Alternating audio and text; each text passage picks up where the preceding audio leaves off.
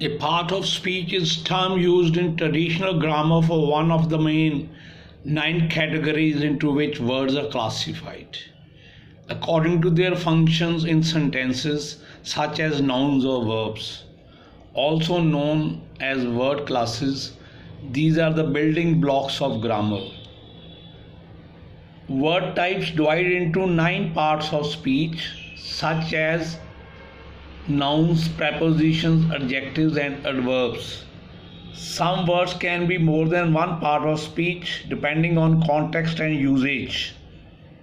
Every sentence you write or say in English includes a few, few words that fall into nine parts of speech. These include nouns, pronouns, verbs, adjectives, adverbs, prepositions, conjunctions, articles oblique determiners and interjection. Word classes. These parts of speech are commonly divided into open classes that is nouns verbs adjectives and adverbs and closed classes that is pronouns prepositions conjunctions articles oblique determiners and interjections. Some traditional grammars have treated articles as a distinct part of speech Modern grammars more often include articles in the category of determiners which identify or quantify a noun. Adjectives are optional, optional parts of a speech.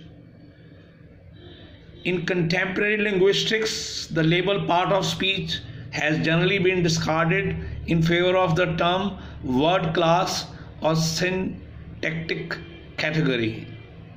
Nouns are a person, place, or thing, or even an abstraction such an idea.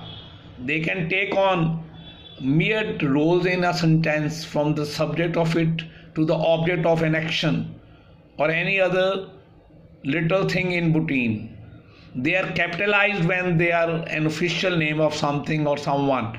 For example, Bhupinder, ship, freedom, Captain Jack Sparrow, Pronouns stand in nouns in a sentence. Examples I, you, he, she, it, occurs, eh, sorry, ours, them, who, which, anybody, ourselves. Verbs are what happens in a sentence. They are either action words or show the state of being, is, was, of the subject of the sentence. They change form based on tense, present, past and the subject of the sentence singular or plural. Example sing dance believe. Finish eat drink. Adjectives describe nouns or pronouns. They specify which one how much or what kind. Examples are lazy funny unique poor smooth.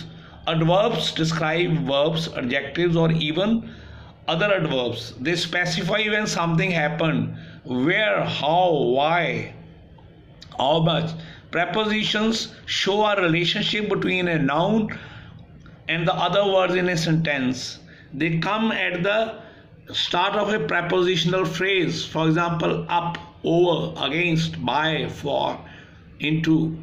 Conjunction. Conjunction join words, phrases and clauses in a sentence. Examples are and, but, or, yet, with. Articles and determiners Articles and determiners function like adjectives by modifying nouns. Examples of articles a, an, and the. Determiners are these, that, those, enough. Interjections are expressions that can stand on their own as complete sentences. They are telling about emotion like wow, ah, whoops. Only interjections have a habit of standing alone, like hooray, there is no need of any word before or after.